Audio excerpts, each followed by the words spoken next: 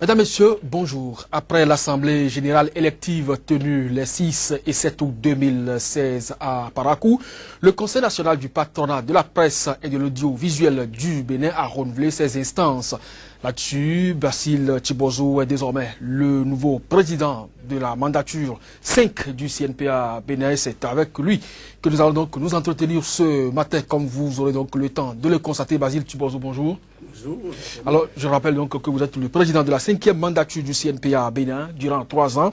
Avec euh, le concours des 19 autres membres de votre équipe, vous allez essayer de redonner espoir à la presse béninoise. Alors, dites-nous d'entrée comment ça s'est passé votre élection à la tête du CNPA Bénin? Merci beaucoup, euh, cher ami Métono, pour l'invitation. Euh, chers téléspectateurs. Non, mais ça s'est passé très, très, très, très simplement à Parakou. C'était, on était parti pour gagner et puis on a gagné. Euh, c'est vrai que bon, les concurrents d'en face euh, euh, n'étaient pas pour la dynamique d'un bureau consensuel. Le consensus, on a voulu tout le temps, tout le temps. Moi-même, personnellement, les personnalités ont voulu.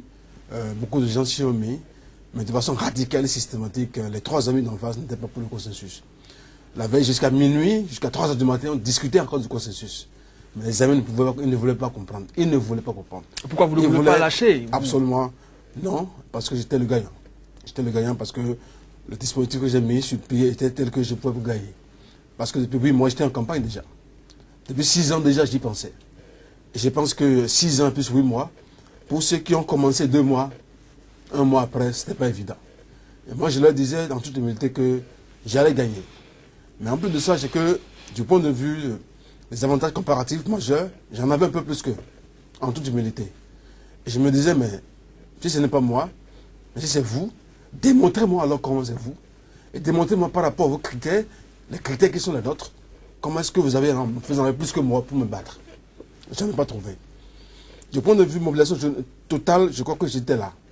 Du point de vue de l'adhésion de ma vision par rapport au nouveau CNPA, beaucoup sont venus avec moi. Mathématiquement, je me suis dit que je peux gagner. Et je leur ai dit, mais les amis, venez avec moi pour qu'on fasse toujours un bureau consensuel. Comme ça été le cas avec Badarou, comme ça a été le cas avec Edouard euh, Loco, comme ça a été le cas avec euh, Malik 1 et Malik 2. Alors pourquoi pas, pour, maintenant que Malik part, on ne peut pas se mettre ensemble. Mes chers amis n'ont pas voulu.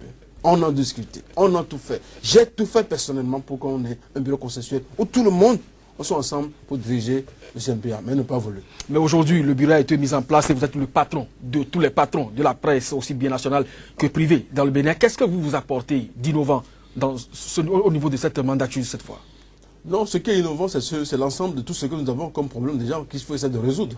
Entre autres Je pas par exemple de l'aide de la, d'État à la presse. L'aide d'État à la presse, par exemple, a été toujours de 300 millions depuis 20 ans. Il ne s'est pas créé coup. 20 ans après, vous comprenez que eh bien, la, la, massivité des agents de presse est, est, totale. Tout à fait. Et il n'est plus question de faire des distributions à biscuits. Parce que 300 millions à distribuer pas autant de gens aujourd'hui, ça ne fait rien.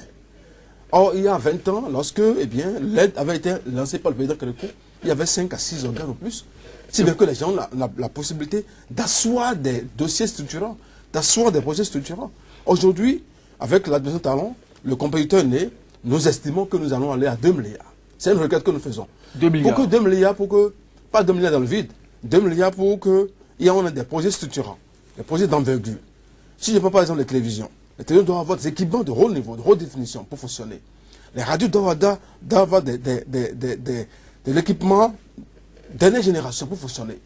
Les organes de presse doivent avoir la possibilité de se mettre ensemble pour voir des grands groupes.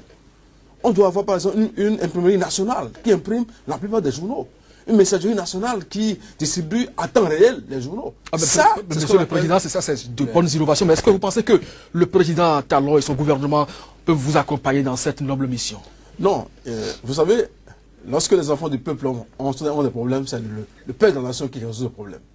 On a des problèmes aujourd'hui, et c'est lui le père de la nation, c'est lui qui va aider à résoudre le problème. C'est lui que nous avons élu, que nous avons plébiscité. Ah ben, il a élu, ah, et au lendemain de la formation de son gouvernement, le premier acte à l'endroit de la presse nationale, c'est la suppression des contrats de publicité. Est-ce que vous pensez qu'aujourd'hui, une vision comme celle à portée de 300 millions à 2 milliards de francs CFA, l'aide de l'État à la presse privée, publique, en tout cas, vous pensez que c'est possible, c'est faisable? Non, c'est faisable. C'est possible, c'est faisable, parce qu'au-delà des problèmes que nous avons, le fait de supprimer les contrats vient en rajouter. Ça veut dire que ça va être double problème que le président Talon va nous aider à résoudre. Parce que supprimer les contrats, c'est une bonne chose en soi. Parce qu'il y a un certain désordres qu'on observe dans ces, contrats-là. Il, a, il a été question de faire une sorte de chirurgie. Mais la chirurgie a été faite, mais sans anesthésie. C'est là qui est difficile. Faites une chirurgie, c'est bien, mais sans anesthésie, c'est difficile. Donc nous avons reçu ça comme un coup de massou sur la tête et nous avons réagi. Mais la réaction n'est pas proportionnelle à ce qui a été fait parce que nous estimons que la décision qui a été prise est basée sur un certain nombre de constats qui ont été faits par rapport au gouvernement. Le gouvernement est venu à constater que dans beaucoup de cellules de communication, dans beaucoup de ministères, dans beaucoup de structures, il y a des contrats fantaisistes, basés sur rien du tout, qui n'ont rien de, fondamental par rapport à l'évolution de la presse. Arrêtez ces contrats-là. Arrêtez ces contrats-là, c'est une bonne chose. Mais arrêtez les bons contrats, c'est ça qui est mauvais. Parce que je vous dis, dans ces contrats qui ont été entrés, dans ceux qui ont été supprimés, il y a des gens qui ont gagné en bonne et forme, qui ont présenté des adhésions fiscales quatre colonnes, qui sont en règle, dont les contrats ont été déclarés au domaine. Donc, des contrats réels, des contrats euh, qui ne sont pas des dollars. Mais dans le même temps, il y a un salmigondis de, contrats qui sont dans le foutou qu'il faut arrêter. Je suis d'accord pour ça. Mais pour ceux qui sont sérieux, rigoureux, qui paraissent normalement, qui paient les salaires, qui paient les trucs, il n'est pas question de résoudre d'arrêter le contrat. Le président Talon est conscient de ça. Et ses conseillers le savent. Et moi, je pense qu'aujourd'hui, nous allons asseoir, nous allons asseoir avec la nation Talon pour définir les bases d'une reprise normale des choses. Et c'est en cela que j'approuve un peu la gestion de la communication qui a été mise en place avec euh, un ami dont j'apprends le nom, euh, reste à être confirmé, pour que de façon, de façon claire et nette, on puisse s'asseoir pour arrêter la série. Parce que ce qui se passe aujourd'hui, chers amis, dans les organes de presse, c'est la, la, débandade. Les gens ne paient plus les salaires. Les pensions ne sont plus assurées. Les, salaires sont, sont amoindris, sont réduits. Et parlant des services de communication qui sont supprimés, ce sont des diplômés des écoles autorisées par l'État qui, qui ont été arrêtés. Ça veut dire qu'il y a un problème qui se pose. Le problème se pose et la solution doit être dans le dialogue, dans la concertation. Nous ne sommes pas pour l'affrontement. Ça ne sert rien du tout. C'est pourquoi le président Talon doit absolument essayer de nous entendre, de nous écouter, pour qu'on trouve un, un paramètre pour très vite résoudre ce problème-là, parce que ça devient déjà six mois.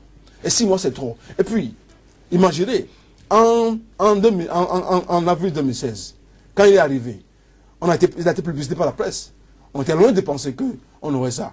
Mais je pense que ça va se corriger. Du 19 euh, au 21 février 2014, Monsieur le Président, la presse nationale de votre pays s'est rendue donc aux États généraux. Les conclusions issues de ces assises pour redonner une certaine euh, noblesse à la presse sont-elles aujourd'hui mises en application? Non, malheureusement. Mais euh, la, raison est simple, c'est que le président euh, qui a convoqué ces États généraux là lui-même et qui a reçu les travaux, qui a inauguré les travaux, et qui nous avait pendant trois jours, n'a pas véritablement reçu en audience les associations professionnelles pour recevoir les conclusions de, cette, ces états généraux pour les mettre en application. C'est là le hic, le nœud. On ne comprend pas cette contradiction-là qui veut qu'un chef d'État demande des assises de la presse. Est-ce que c'est pas parce que vous avez, vous, avez voulu forcément des états généraux quand vous les avez accordés en son temps? Non, c'est pas ça, parce que ce n'est pas les premiers états généraux. Je suis désolé. On a déjà les premiers états, généraux en, en, 80, en, 80, en 2002. Ces états généraux-là ont eu la possibilité de créer les fêtières, par exemple. Parce que chaque état généraux a la possibilité de donner, un boom à la profession. Et pour ce qui est des états généraux de la, dernière, c'est que nous avons décidé, par exemple, d'aller au fond, d'aider au-delà des médias. Donc je ne veux pas là pour l'aide d'État à la presse. L'aide doit être comme ça. On doit aller au fond, par exemple. On doit avoir un comité d'organisation un comité d'administration pour gérer le fonds, par exemple. On doit avoir une régie publicitaire, par exemple. On doit euh, essayer au niveau de l'OTB de donner le quota de, publicité que l'OTB a au profit des organes de presse, parce que l'OTB est déjà financé à 100% par l'État. Il devient, l'OTB devient un concurrent malheureux par, rapport aux organes, aux télévisions, aux journaux. Donc, il est question d'arrêter, par exemple, euh, cette, cette, démarche de l'OTB et de trouver autre chose. C'est pas des conclusions.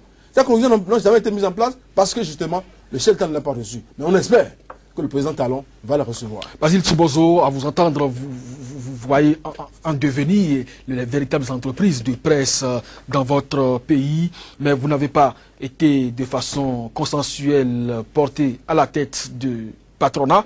Ce n'est pas encore grave. Mais est-ce que vous pensez qu'aujourd'hui, vous avez les coups franches pour mener à bien votre mission? Ah Non, mais rectificatif. Euh, dans la salle de l'Assemblée générale à Parakou, mhm. nous étions 98. Lorsqu'il était question de voter pour le président, 94 personnes votaient pour moi. Donc vous avez obtenu finalement le consensus que vous avez pendant longtemps négocié. C'est ça. Je dirais même un plébiscite. Je ne m'en je ne bombe pas le torse. Donc ce n'est pas que c'est dans la division qu'on a été non. C'est l'ensemble des patrons de presse, des radios communautaires et associatifs et rurales qui ont porté le choix sur moi. Donc il n'y a pas de division du tout. C'est un bureau consensuel, solide, comme du rock, qui travaille. Alors est-ce que vous avez aujourd'hui les coups de franche pour véritablement réussir votre mission? On a les coups de totalement franches. Les coups de franche, parce que c'est quoi? Pour réussir la mission, il faut aller, il faut négocier, il faut discuter. Il faut négocier l'effort, il faut négocier le partenariat. Et ça, nous sommes dessus. Nous sommes dessus. Nous avons décidé, par exemple, d'aller vers les ambassades, vers les institutions, pour mettre sur pied eh bien, eh bien, nos projets et demander des financements pour aider la presse à évoluer. Parce que, vous savez, la presse a besoin de formation. La presse a besoin de formation diplômante, de formation modulaire, etc. Nous allons aller. La presse a besoin d'un certain nombre de choses. La loi sur le code d'information qui a été voté, par exemple, ce code-là mérite d'être retoiletté, d'être relu encore. Parce qu'il y a beaucoup d'éléments qui amènent à l'assainissement. Je prends par exemple, dans ce code d'information qui a été voté en 2015, il est défini par exemple qui peut être patron de presse. Qui peut être patron de presse Quelle est la lutte d'un patron de presse Quel diplôme il doit avoir Quel nombre d'expériences il doit avoir pour patron de presse Radio, télévision? C'est défini dedans. Mais dès lors que nous n'avons pas appliqué cette, loi, ça pose problème. Est-ce que vous voyez? Donc l'assainissement que nous prenons, qui est aussi l'un des, projets de notre société, doit passer par les tests.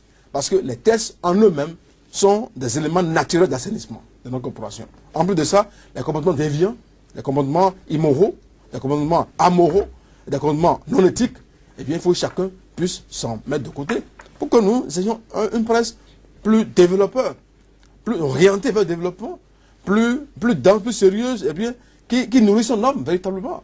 Euh, dans, dans, quelques minutes, on sort de cet entretien. Vous nourrissez beaucoup d'ambition pour la presse béninoise. Trois ans, ce n'est pas rien, mais c'est trop peu pour développer autant euh, d'idées. Est-ce que vous pensez que vous, avez euh, vraiment... trois ans, c'est 365 jours fois, fois 3. Tout à fait. Et chaque jour compte. Vous pensez que ça fait déjà une semaine de passé que vous êtes déjà président officiellement à la tête du CNPA. Vous pensez véritablement que tout ce chantier-là sera euh, balisé d'ici les trois ans? Oui. Vous savez pourquoi? Parce qu'un programme, ça se, ça se décline en vision. Et la vision s'accompagne d'action. Et nous sommes en train de mettre ces dispositions en place. Et nous allons réussir par la grâce de Dieu. Par rapport à la grâce de Dieu, merci donc à vous, Basile Chibozo, d'être passé dans ce studio de Sika TV. C'est bien sûr, mesdames, messieurs, la fin de l'émission Entretien du jour qui recevait pour vous le président du Conseil national du patronat de la presse et de l'audiovisuel du Bénin. Il s'agit bien sûr de Basile Chibozo qui a officiellement pris service le 26 août de l'an 2016. À chacun et à tous, bien à vous et à très bientôt.